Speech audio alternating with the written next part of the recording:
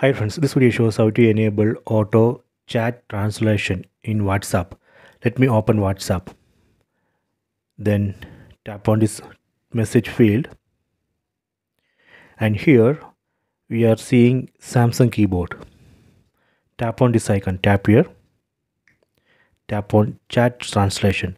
So right now you can see uh, my messages uh, which I sent. Uh, these are English so i am going to translate this.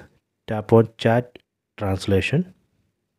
And here you can set source and target. Let me uh, select target to hindi. See it's automatically translated all these uh, chat messages to hindi. Let me change this to japanese. Done.